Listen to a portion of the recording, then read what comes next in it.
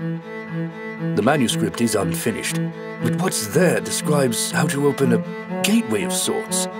To where we do not know, but the Master has been seized by its secrets. He's having this facility built to execute its designs.